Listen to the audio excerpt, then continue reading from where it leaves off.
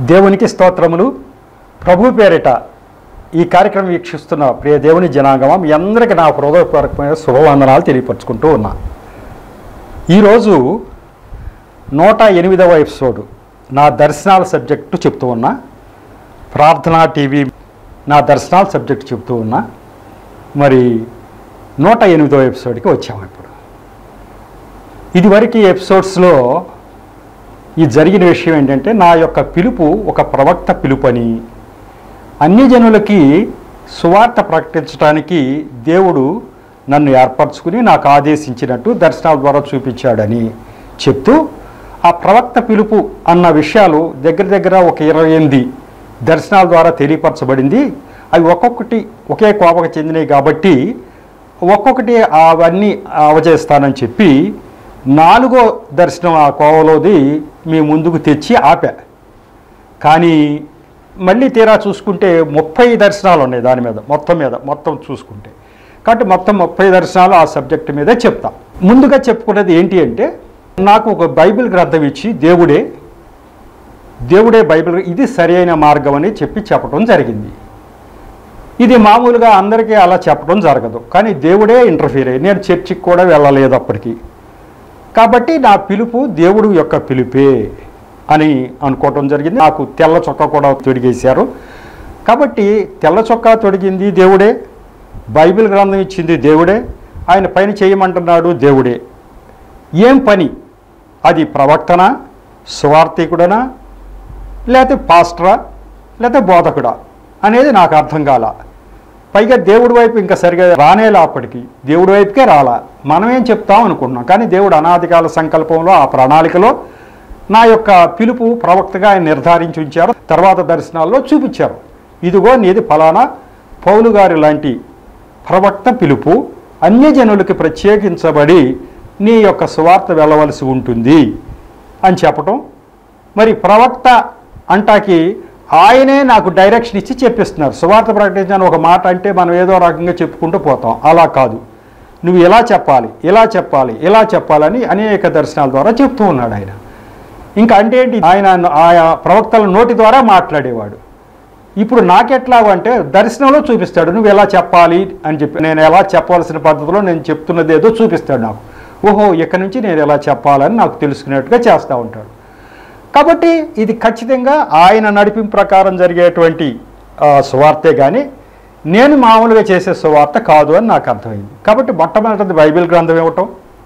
రెండోది నిన్ను నువ్వు ప్రత్యేకపరచుకో. ఎందుకు అందరికీ లేనిది నన్ను ఇంతగా ప్రత్యేకపరచుకోమంటున్నారంటే నీది ప్రత్యేకమైన పిలుపు అబ్బాయి. అందరికీ నేను చెప్పనాలా? నీ విషయంలో ప్రత్యేకపరచుకోవాల్సిందే అని చెప్పేశాడు. దాని మీద కొన్ని దర్శనాలు ఈ వివరణలు ఇచ్చేశాడు. అప్పటి నుంచి ప్రత్యేకపరచుకుంటూ ఉన్నాం. ఇక ఆ తర్వాత నేను ఎంతో ప్రేమించి ఎంచుకున్నారు కదా దేవుడు. ఎంత అదృష్టం అనుకుంటుండగా నీవు శ్రమలను ప్రేమించి నన్ను సమర్థించని రెండుసార్లు దర్శనాలు వచ్చేసి అంటే శ్రమలు వస్తాయన్నమాట.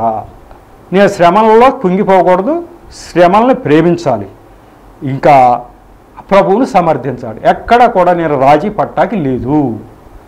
ప్రభు విషయంలో రాజీ పట్టాకి లేదు. ఇటువంటి దర్శనాలు చూపించాను అది మూడో దర్శనంగా మీ ముందుకు తెచ్చా.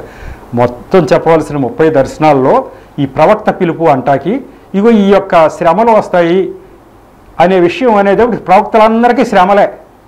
దేవుడేమో శ్రమలు తీసేసి వాళ్ళని భోగభాగ్యాలతో ఉంచాల ఏ ప్రవక్తని కూడా. ఎందుకంటే ప్రవక్తలకి దేవుడు చెప్పినట్టు చేయాలి కాబట్టి అది ప్రజల్లో మరి నచ్చని వాళ్ళంతా వాళ్ళని శ్రమలు పెట్టడం జరిగింది. అనేక నానాటి నుంచి కూడా.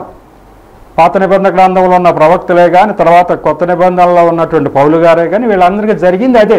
తీవ్రమైన శ్రమల గుండా వాళ్ళు వెళ్ళటం జరిగింది. కాబట్టి శ్రమలు బట్టుకు వస్తాయని చెప్పాడు. ఓహో ఈ శ్రమలు వస్తాయే కదా మరి మనకేదో సుఖాలంటూ ఉండవు కదా అని నేను నిర్ధారించుకోవడం జరిగింది. దాని మీదే శ్రమలు వస్తాయన్న దాని మీద మీకు చెప్పాను. ఒక్క శ్రమ చెప్పాను అక్కడక్కడ వస్తూనే ఉన్నాయి. కాబట్టి ఆ శ్రమలు వస్తున్నాయి అనేది మూడోది. నాలుగోది ఏంటి అంటే ఎఫ్ఎస్సీలకు రాసిన పత్రిక మూడో అధ్యాయము అని రాత్రల్లా స్వరం వినిపించారు. ఈ ఎఫ్సీలకు రాసిన పత్రిక మూడో అధ్యాయంలో ఏముందో నాకు తెలియనే తెలియదు. అప్పుడు చదువుకున్న తర్వాత అన్యజనులకు ప్రవక్తగా నిన్ను నియమించాను ఆ క్రీస్తు మర్మము ఒకప్పుడు నేను బయలుపరచడిది నీకు బయలుపరుస్తూ ఉన్నాను. నానా విధమైనటువంటి జ్ఞానాన్ని నువ్వు ప్రజల్లోకి తీసుకెళ్ళాలి. నానా విధములైన జ్ఞానాన్ని ప్రతికెళ్ళాలి అని చెప్పి చెప్పడం జరిగింది. దానికి ఉదాహరణగా ఏం జరిగింది అని అది వచ్చిన తర్వాత ఒక అన్యజనుడు ఒక భూస్వామి గారు ఆయన నేను ఇంతవరకు ఎప్పుడు చూడకపోయినా ఆయన దర్శనంలో చూపించి రెండు సార్లు దర్శనాల్లో చూపించి ఆయనకు సువార్త ప్రకటించమన్నారు. సువార్త ప్రకటించాను. కానీ ఆయన సెకండ్ వేవ్ కరోనాలో చనిపోవటం జరిగింది. మరి ఏంటండి? మరి సెకండ్ వేవ్ కరోనాలో చనిపోయారు కదా మీరు వెళ్ళారు సువార్త ప్రకటించారు. మరి సువార్త ప్రకటించారు అంటే చెప్పిన మటుకు చెప్పాం నా పుస్తకం ఇచ్చాం అంతా చేసాం అంటే దానికి రీజన్స్ అన్నీ ఎక్స్ప్లెయిన్ చేస్తాను అది అవల దాని మీద సబ్జెక్ట్ మీద కంప్లీట్ అవల కిందసారి ఆ భూస్వామి గారికి నేను సువార్త ప్రకటించిన విషయం తర్వాత చేస్తాను ఈలోగా ముఖ్యమైన విషయం మీకు ఒకటి చెప్పాలి. ఈ మధ్యకాలంలో ఒక సహోదరి ఆమె అన్యజనురాలు. యూట్యూబ్లో నా యొక్క మాటలు విందట. ప్రార్థనా టీవీ మచిలీపట్నం ఛానల్ ఇది. ఆ ఎపిసోడ్ యూట్యూబ్లో ఆమె చూసిందట. ఆమె ఇక్కడ విజయవాడ ప్రాంతం కానీ మచిలీపట్నం ప్రాంతంలో కానీ ఈ టీవీ ప్రసారాలు ఏది ప్రార్థనా టీవీ ప్రసారాలు ఆమె చూసిందంట యూట్యూబ్లో. ఆమెకి బాగా నచ్చింది. ఆమె ఎవరో ఒక అన్యజనురాలు. ప్రభుని అంగీకరించలే కానీ ప్రభు అంటే చాలా ఇష్టం. ఇంట్లో ఉన్న ఎన్నో కారణాల చేత ఆమె ప్రభు వైపు చూడాల. ప్రభు వైపు బహిరంగంగా ఒప్పుకోవట్లే. కానీ ఆమెకున్నటువంటి జ్ఞానం చూస్తే మన క్రైస్తవులకు కూడా అంత జ్ఞానం ఉండదు చాలామందికి. అంత జ్ఞానం ఉంది. ఎలా వచ్చిందమ్మా మీకు ఇంత జ్ఞానం బైబిల్ జ్ఞానం అంటే అయ్యా మా వారు ఆఫీస్కి వెళ్ళిపోయిన తర్వాత నేను రోజల్లా బైబిలే చదువుకుంటా. ఈ యొక్క యూట్యూబ్ ఛానల్ ద్వారా అనేక ప్రసంగాలు వింటూ ఉంటా. కాబట్టి నాకు ఈ జ్ఞానం వచ్చింది. నేను చర్చికి వెళ్ళటానికి వీలు లేదు కాబట్టి వెళ్ళటల్లా. మా ఇంట్లో వారు ఒప్పుకోరు కాబట్టి నేను చర్చికి వెళ్ళటల్లా అని చెప్పింది. చెప్పి అయ్యా మీరు ఎక్కడెక్కడ మీ ప్రసంగాలు ప్రసారాలు వస్తాయి ఏంటి? అంటే చెప్పి అమ్మ ప్రార్థనా టీవీలో వంద పైగా ఇచ్చాను. అని చెప్తే ఆమె డౌన్లోడ్ చేసుకుని చూసి తర్వాత చెప్పింది అయ్యా మీ ప్రసంగాలన్నీ యూట్యూబ్లో నేను డౌన్లోడ్ చేసుకుంటున్నా ఒక్కొక్కటి ఒక్కొక్కటి చూస్తున్నా వింటున్నా అని చెప్పింది. ఆమెకి ఉన్న ఇంట్రెస్ట్. అప్పుడు ఆశ్చర్యపోయాను అనమాట నేను. ఇప్పుడు ఆ అమ్మ కణాని స్త్రీని చూసి యేసుప్రభు వారు అంటారు అమ్మా నీ విశ్వాసం గొప్పది. ఇజ్రాయెల్ ప్రజల్లో కూడా ఇంత విశ్వాసం నేను చూడలేదు అంటాడు ఆయన. ఆమె అన్యజనురాలేంటి? ఎంత భక్తి దేవుడి గురించి ఎంత ఆరాటం ఉంది ఆమెకి ఎంత ఆశ్చర్యం అయిపోయింది నాకు. ఇక ఆమె చెప్పింది అయ్యా మీరు ఎప్పటి నుంచో టీవీలో చెప్తున్నారు కాబట్టి అక్కడ టీవీ చూసే వాళ్ళకి మీరెవరో తెలుసు. కానీ ఇట్లా యూట్యూబ్లో మేము ఏదన్నా ఒకటి చూసినప్పుడు మీరు ఎవరో మాకు తెలియదు కదా. మరి మీరు అప్పుడప్పుడు మీరు మీ యొక్క నేపథ్యం చెప్తూ ఉండండి అప్పుడు మాకు తెలుస్తుంది ఇప్పుడు మీరు మీకు ఫోన్ చేసి విషయాలు తెలుసుకున్నాను అనుకో అందరికీ తెలియవు కదా అంది. అప్పుడు నాకు అర్థమైంది. నిజంగానే ఈ ప్రార్థనా టీవీలో మొదట్లో ఇప్పుడు వంద పైన చెప్పా. మొదట్లో నా గురించి పరిచయం చేసుకున్నా నేను ఇది ఇది అని చెప్పా. ఇక తర్వాత తెలిసిందే కదా మన వాళ్ళకని మనం పెద్దగా చెప్పట్లా. కానీ తర్వాత తర్వాత కొత్త కొత్త శ్రోతలు కొత్త కొత్త వాళ్ళు చూస్తూ ఉంటారు కాబట్టి వాళ్ళకి కూడా తెలియపరచాలి. కాబట్టి ఎలాగో ఆ సహోదరి అడిగిన విషయం గ్రహించాను. ఈ రోజైతే నా నేపథ్యం అంతా చెప్తాను. నా నేపథ్యం నేను చేసే పరిచర్య అంతా చెప్తాను. ఇది ఎందుకంటే తెలిసిన వాళ్ళకి ఆల్రెడీ తెలిసింది కానీ తెలియని వాళ్ళకి తెలియటం కోసం అది నేను చెప్పదలుచుకున్నా. అసలు నా బ్యాక్గ్రౌండ్ ఏంటి? నేను ఎందుకు ఇలా సువార్త ప్రకటిస్తున్నాను? అనే విషయాలు మరి తెలిసిన వాళ్ళే తెలుసు కానీ తెలియని వాళ్ళు చాలామంది ఉన్నారు. అయితే ఈ ఈ ఎపిసోడ్లో కొంత సమయం దాన్ని కేటాయించాను. కాబట్టి అది చెప్పిన తర్వాత మన కంటిన్యూషను ఒక భూస్వామి గారికి నేను సువార్త ప్రకటించినటువంటి దాని కంటిన్యూషన్ వెళతా తర్వాత. ఇప్పుడు నేను చెప్పదలుచుకుంది ఏంటి అంటే నా నేపథ్యము నా యొక్క పరిచయం అవసరం ఉంది ప్రజలకి. అందుచేత నేను చెప్తూ ఉన్నా. నా పేరు రాజారావు ఇంటి పేరు దేవనబోయిన. ఊరు మచిలీపట్నం దగ్గర ఉన్నటువంటి మంగినపూడి బీచ్ పక్కన ఉంటుంది సత్రవపాలెం అనేటువంటి గ్రామం. అది తాళపాలెం పంచాయతీలో ఉంటుంది. అది మా ఊరు. నేను అన్ని జనుల కుటుంబంలోంచి వచ్చాను. నేను నిష్ఠాగరిష్ఠుడైనటువంటి ఒక హిందువుని ఒకప్పుడు. నేను ఆర్టీసీలో పర్సనల్ ఆఫీసర్ పర్సనల్ ఆఫీసర్గా చేసి రిటైర్ అయ్యాను. డిపో మేనేజర్ అంటే బాగా అందరికీ తెలుస్తుంది. డిపో మేనేజర్ క్యాడర్ ఆ హోదాలో పర్సనల్ ఆఫీసర్ పోస్ట్ ఉంటుంది జిల్లాకు ఒక పోస్ట్ ఉంటుంది. మరి అది గుంటూరు జిల్లాకి పర్సనల్ ఆఫీసర్గా అంటే సిబ్బంది మీద వాళ్ళ సర్వీస్ మ్యాటర్స్ మీద అధికారం ఉంటుంది. కాబట్టి ఒక పర్సనల్ డిపార్ట్మెంట్ మీద ఆ జిల్లా వ్యాప్తంగా అధికారం ఉంటుంది. అటువంటి ఉద్యోగం నేను చేశాను. నేను నిష్ఠాగరిష్ఠుడైనటువంటి హిందువుగా బ్రతికాను. రిటైర్ అయిన తర్వాత కూడా అనేక తీర్థయాత్రలు చేస్తున్న సమయంలో మరి అప్పుడు ఈ దేవుడు దర్శనం చూపించడం మొదలుపెట్టి ఏ దేవుడు? నేను ఆరాధించే దేవుడు కాదు. బైబిల్ గ్రంథంలో ఉన్న దేవుడు బైబిల్ గ్రంథం తీసుకొచ్చి ఇవ్వటం అనేక దర్శనాలు చూపించడం మొదలుపెట్టారు. ఇప్పుడు వంద పైన దర్శనాలు ఇంపార్టెంట్ దర్శనాలే వంద పైన ఉన్నాయి. అవన్నీ నాకు నేను రాసిన సాక్ష్యం బుక్లో రాసి అందరికి పంచుతూ ఉన్నా. ఇది అరుదు. ఎప్పుడు నా అరవయో సంవత్సరంలో దర్శనాలు స్టార్ట్ ఆ దర్శనాలు స్టార్ట్ అయిన తర్వాత దేవుడు మనోనేత్రం కూడా తెరిచాడు. ఇక నాకు బైబిల్ చదివితే తేనె తాగినట్టుగా అర్థమయ్యేటట్టు చేశాడు. అట్లా ఎవరైనా చదివితే అర్థం అవుద్దా అంటే అంత తేలిగ్గా అర్థం అవుతుంది బైబిల్. కానీ నాకు అర్థమయ్యేటట్టు చేశాడు. వెంటనే నేను బాప్తిజం తీసుకున్నాను అరవై ఒకటో సంవత్సరంలో. ఇప్పుడు నాకు డెబ్బై రెండో సంవత్సరం నడుస్తూ ఉంది. అంటే పదకొండు పన్నెండు సంవత్సరాలు అయిపోయింది నేను ప్రభువు వైపు చూచి. ఈ పన్నెండు సంవత్సరాలు ఈ పదకొండు సంవత్సరాల్లో దేవుడు ఎలాంటి మలుపులు తిప్పాడు నా జీవితం అంటే నాకు తెలియదు ఏదో దేవుణ్ణి తెలుసుకున్నాం చర్చికి వెళ్తాం వస్తాము. అనుకున్నాం కానీ ఇంత పెద్ద ప్రణాళిక నా మీద ఉంది అని ఇంత పెద్ద పని చేయాలని దేవుడు ఉద్దేశించాడని నాకు తెలియదు ఆ తర్వాత దర్శనాల ద్వారా ఆయన చెప్పుకుంటూ వచ్చాడు. ఇప్పుడు నా పని ఏంగా నిర్ధారించాడంటే దేవుడు అన్నీ చూస్తున్నటువంటి దేవుడు. మన దేవుడు ఆయన అన్నీ చూస్తూ ఉంటాడు. ప్రజలు ఏమనుకుంటున్నారో ఆయనకి తెలుసు.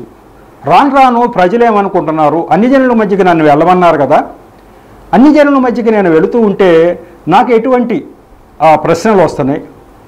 ఎటువంటి భావాలు వాళ్ళు వ్యక్తపరుస్తున్నారు అన్ని జనులు అనేది నాకు తెలుస్తుంది. అయితే దేవుడు కూడా అవి తెలుసో ఏమో తెలియదు నువ్వు ఎక్కడి నుంచి ప్రకటించేటువంటి సువార్త ఇలా ఉండాలి అని దర్శనాలు చూపించేస్తూ ఉన్నాడు. ఏంటి ఆయన చూపించిన దర్శనాలు అంటే మీకు వస్తే తర్వాత ఇప్పుడు చెప్పే దర్శనాల్లో ఆయన అంటాడు ఆయన యేసు ప్రభుని నమ్మండి అని నీవు బలవంతం చేయవద్దు అక్కడ. అసలు నమ్మండి అనే పదాలే వాడవద్దు. అని చెప్తున్నాడు. ఇది విడ్డూరంగా లేదు? అందరికీ ఆశ్చర్యంగా ఉంటుంది కదా యేసు ప్రభు నమ్మమని చెప్పాలి కానీ నమ్మాలనే బలవంతం చేయవద్దు అంటున్నాడు. నమ్మాలో నమ్మవద్దో నీవే నిర్ణయించి మీ నిర్ణయం ప్రకారం చేయండి అని అన్నమంటున్నాడు. నిజంగా కూడా ప్రజలు అట్లాగే మాట్లాడుతున్నారు. యేసు ప్రభువును నమ్మమంటారు ఏంటండి మేము నమ్మాలో నమ్మకూడదో మాకు తెలియదా అంటున్నారు. కానీ దేవుడు కూడా తెలిసిపోయింది ఏమో తెలియదు నువ్వైతే ఇట్లాంటి పదాలు వాడవద్దు ఇక. ఇదివరకు నేను మామూలుగానే యేసు ప్రభువుని నమ్మండి అని చెప్పేవాడిని. కానీ అట్లా అంటల్లా. నీ సాక్ష్యంలో చెప్తే నీవు ఇందు కారణం చేత నేను ప్రభువుని నమ్మామని చెప్పు. కానీ వాళ్ళని నమ్మాలనేది లేదు అని. మరి అందరికీ వర్తిస్తా అంటే లేదు. నేను చెప్పేసి వార్త నా నోటి ద్వారా దేవుడు చెప్పిస్తుంది ఇది నమ్మాలో లేదో మీ నిర్ణయమే. అయితే దేవుడు ఏం చెప్పమంటున్నాడంటే అనేక రకాలైనటువంటి యాంగిల్స్లో దేవుడి జ్ఞానం వాళ్ళకి ఇవ్వు. చెప్పు దేవుడు నాకు జ్ఞానం ఇమ్మని చెప్పాడు. ఆ జ్ఞానం దృష్టిలో పెట్టుకుని వాళ్ళు నిర్ణయం తీసుకునే హక్కు వాళ్ళకి ఇచ్చేయి. వాళ్ళే నిర్ణయం తీసుకుంటారని చెప్పాడు. కాబట్టి నిర్ణయం మీ చేతిలోనే పెట్టాడు. అంతేకాకుండా దేవుడు ఏం చెప్తూ ఉన్నాడంటే ఆ యొక్క నీ యొక్క స్వార్థ ప్రకటన ఎట్లా ఉండాలి అని అంటే వాళ్ళ నిర్ణయం ప్రకారమే. ఒక పరీక్ష పెడితే వాళ్ళు పాస్ అయితే తర్వాత క్లాస్కి ప్రమోట్ చెయ్యి అన్నాడు నన్ను. అంటే వాళ్ళు అవగాహన కలిగి మాకు ప్రభు కావాలంటే ఆ రాజ్యంలోకి రావటానికి వాళ్ళకి చెప్పు. వద్దు అన్న వాళ్ళని ఇక నువ్వేం చేయటానికి లేదు అంటున్నాడు. కాబట్టి అర్థమైంది ఏంటంటే ఆ నిర్ణయం వాళ్ళ చేతిలోనే పెట్టు జ్ఞానం అయితే ఇవ్వు అన్నాడు. ఆ దాంట్లో చెప్పింది ఏంటంటే ఊరినే పరీక్షలు పెడతానయ్యా పాస్ అయితే మరి పరలోకం వెళ్తారో లేకపోతే లేదు అని చెప్పడం కాకుండా దానికి అవసరమైనది వాళ్ళు పాస్ అవ్వటానికి అవసరమైన జ్ఞానం అంతా నువ్వు ఇచ్చి తీరాలి. అదే ఎఫ్సి పత్రికలో ఉంది. నానా విధములైనటువంటి జ్ఞానాన్ని ఆ యొక్క అన్ని జనుల మధ్య నువ్వు ప్రకటించాలి అని ఆయన పౌలు గారికి చెప్పాడట దేవుడు. ఇప్పుడు అది నాకు చూపించి ఇది నీదే. నానా విధములైన జ్ఞానం. ఏంటి? ఈయన ఎందుకు దేవుడు? మిగతా వాళ్ళు కారా? ఎందుకు కారు? ఏంటి రీజను? ఏంటి రుజువులు? ఏంటి సాక్ష్యాలు? ఇట్లాంటి జ్ఞానం ఇవ్వాలి. ఆ జ్ఞానం అంతా వాళ్ళకి నూరిపోయి అని చెప్పి దేవుడు చెప్పడం జరిగింది. అది మీకు చెప్తా ఆ దర్శనాలన్నీ. కాబట్టి ఇట్లాంటి పందాలో దేవుడు నడిపిస్తూ ఉన్నాడు. ఇకపోతే ఆయన నాకు ఇచ్చినటువంటి పిలుపులు చూస్తే ఆయనకి ఇచ్చినటువంటి దర్శనాలు చూస్తే అందరికీ ఆశ్చర్యమే. మా స్నేహితులు కూడా అన్యజనులుగా ఉన్నవారు "ఆ, యేసు ప్రభువుని నమ్మాడు మన రాజారావు.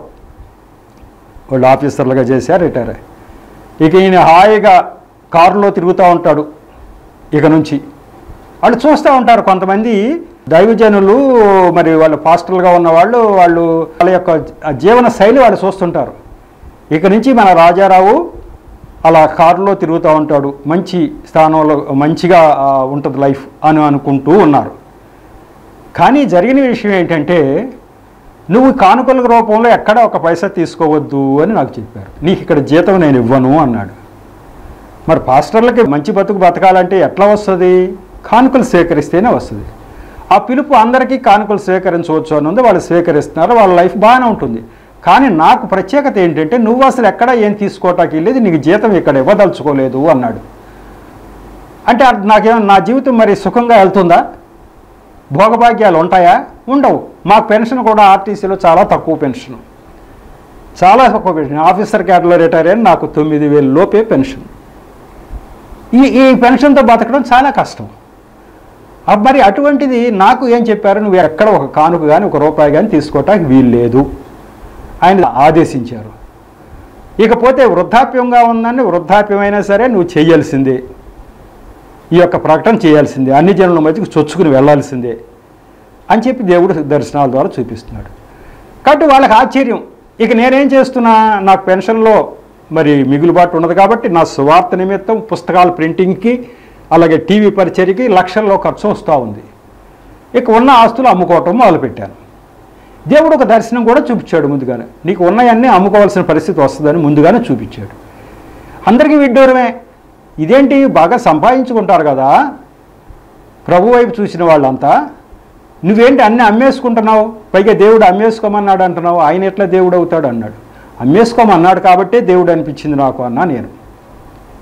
ఇతరులకి దేవుడి యొక్క మాట ప్రకారం ఈయన నడుస్తున్నాడని తెలియాలంటే మనం ఆస్తులు అమ్ముకుని చేస్తున్నాడంటే ఆయన ఆత్మ ప్రకారం చేస్తున్నా కానీ నా అంతటా నేను ఆస్తులు అమ్ముకుని నాకేం ప్రయోజనం లేకుండా చేస్తానా? ఏ మనిషి అయినా చేస్తాడా? కాబట్టి నేను చేసే సువార్త రాజారావు చేయట్లేదు అనమాట ఇది. దేవుని యొక్క శక్తి ఆయన మీద ఉండి చేస్తున్నాడు. అంటే సువార్త ప్రకటిస్తున్నది రాజారావు కాదు. దేవుని యొక్క శక్తి దేవుడు చేస్తున్నాడు. ఎందుకు? ఎవరికి లాభం? ఈ రాజారావు అన్న వ్యక్తి సువార్త ప్రకటించడం వల్ల ఎవరికి రావు? క్రైస్తవులు ఏమైనా లాభమా? ఏమి లాభం లేదు. క్రైస్తవులు ఆల్రెడీ క్రైస్తవులే వాళ్ళు పరలోకానికి వెళ్తారు. వాళ్ళ క్రియలు బాగుంటే. వాళ్ళకేం లాభం లేదు. మరి రాజారావు అన్న వ్యక్తిని ఇలా ఆయన సొంత డబ్బులు ఖర్చు పెట్టించి ఆయన ఆస్తులు అమ్ముకునేటట్టుగా చేసి ఇలా ప్రకటింప చేస్తున్నాడే దేవుడు ఎవరి గురించి? ఆయన చెప్తున్నాడు అన్ని జనుల మధ్యకెళ్ళి నువ్వు ప్రకటించవయ్యా నా ప్రవక్తగా నేను నియమించానని దేవుడు చెప్పాడట. అయ్యో మనం అసలు యేసు ప్రభు మనకు వద్దనుకుంటున్నాం కదా మన గురించి ఈ దేవుడు ఇంత కష్టపడి ఒక వ్యక్తి జీవితాన్ని త్యాగమే చేయించాడేంటి చేయిస్తున్నాడేంటి?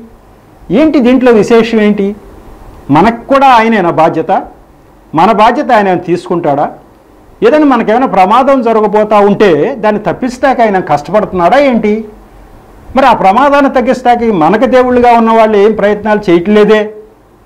ఎవరు ఏం చేయట్లేదే? మరి ఈయనేంటి ప్రయత్నం చేస్తున్నాడు ఇట్లా? అని చెప్పి గ్రహించాలని.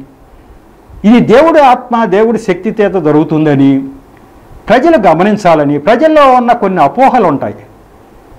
జీవనాధారం కోసమే ఈ స్వార్థ ప్రకటిస్తారు అని అపోహలు ఉంటాయి. అవి తొలగిపోవాల్సిన ఈ రాజారావు అనే వ్యక్తి ఊళ్ళంట తిరిగి ఒక జిల్లా అధికారిగా పనిచేసిన ఆయన ఊళ్ళంట తిరిగి సాదాసీదాగా మరి ఇలా ప్రకటిస్తున్నాడంటే ఈయనకి ఏ లాభం లేకోకుండా ఈయన ఈయన నష్టపోతూ చేస్తున్నాడంటే దేవుడే చేయిస్తున్నాడు అనమాట ఎందుకు చేయిస్తున్నాడని ఒకసారి ప్రజలు ఆలోచించుకోవటానికి వీలవ్వాలని నా జీవితాన్ని ఆ దిశలో దేవుడు నడిపించడం జరిగింది. ఇక నాక నాకు అసలు ఏమాత్రము కూడా బాధలేదు నాకు కష్టాలు వచ్చినా ఆ ఆస్తులు పోయినా బాధలేదు ఎందుకంటే ఇదంతా ఎవరి గురించి చేయిస్తున్నాడు దేవుడు? క్రైస్తవుల గురించి కాదు. అన్యజనుల గురించి. నిన్న మొన్నటి దాకా నేను ఎక్కడున్నానో ఆ జనం గురించి. ఎవరైతే యేసుప్రభు మార్గంలో లేరో ఆ జనం గురించి నా జీవితాన్ని త్యాగం చేయమన్నాడు. చేద్దాం. ఎవరి గురించి? నా స్వజనుల గురించే కదా. కాబట్టి ఇది నాకు నచ్చింది కూడా. ఇష్టపూర్వకంగా చేస్తున్నా దేవుడు చెప్పినటువంటి పని. ఈ పరిచయం ఇప్పుడు ఎందుకు చేయాల్సి వచ్చిందంటే నేను ఎవరో మీకు తెలియాలి కాబట్టి చేయవలసి వచ్చింది. ఈ జీవితంలో కష్టాలు వచ్చినాయి అన్నీ మీకు చెప్తూ ఉంటా. ఈ మూడో దర్శనం శ్రమలని ప్రేమించు అన్నదా? అలాగే ఈ నాలుగో దర్శనం అన్యజనులకు నిన్ను ప్రవక్తగా నియమించి అన్న ఈ రెండు కలిసి చాలా దూరం వెళ్ళాల్సి ఉంటుంది. కాబట్టి అది ఇది మీకు చేసి చెప్తుంటా. ఇదిగో అన్ని జనులకు నేను సువార్త ప్రకటిస్తాకి దేవుడి యొక్క ఆజ్ఞ ప్రకారం ఇలా చేస్తుండగా నా ఈ రకమైన శ్రమలు వచ్చినాయి ఈ రకమైన శ్రమలు ఎలా తొలగిపోయినాయి ఇలా జరిగింది ఇలా జరిగిందని రాబోయే ఎపిసోడ్లో చెప్పబోతా ఉన్నా.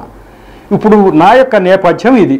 నా యొక్క పూర్తి సాక్ష్యము పూర్తి వివరాలు తెలియని వారు ఈ రాజారావు అనే వ్యక్తి ఎవరో పాస్టర్ల మాటలో విని పొరపాటు పడిపోయి అమాంతం యేసు అంగీకరించారు అని చాలామంది మొదట్లో నా స్నేహితులే అనుకున్నారు.